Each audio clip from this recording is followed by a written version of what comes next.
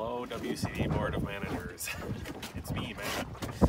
Uh, Matt Downing, for those of you who do not know me. I'm out here today on Goose Lake in Scandia in Washington County, uh, working on water quality monitoring that we do in partnership with the Carnelian Marine St. Croix Watershed District.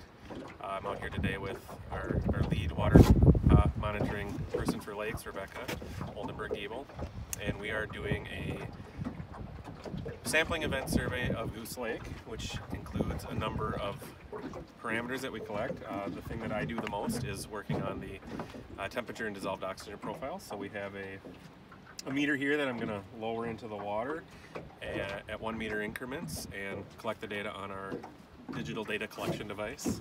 Uh, and while I do that, Rebecca is going to talk to you about why we do this. So that meter gets lowered down and what we're looking to do is collect both the temperature and dissolved oxygen, like Matt said, at one meter increments. This is important to tell um, what's going on in the lake. If a lake is stratified, which means that there is a separation between the upper warm water of a lake and cool water at the bottom, or if a lake is mixed. During the fall season, typically those big wind gusts come through and start to push the warm water from the surface of a lake down into the cool water and start to mix it. Eventually we have a vent that we call fall turnover. This means that the lake has generally completely or mostly mixed and the temperature and dissolved oxygen is now uniform from the surface of the lake down to the bottom of the lake and has completely turned over. Hi, I'm Rebecca Oldenburg-Giebel and this is the continuation of water sampling on Goose Lake and Carnelian Marine St. Croix Watershed District.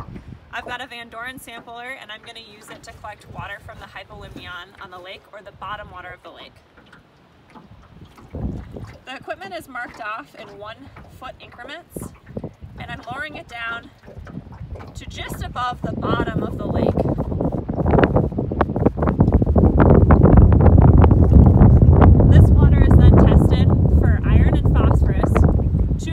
lake. quality of a lake.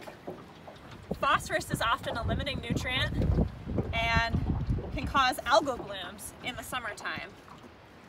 This time of year, that cool water that's normally trapped and separated on the bottom of the lake through thermal stratification can become available as the lake mixes through fall turnover. So it's important to keep track of the phosphorus as this can drive lake productivity.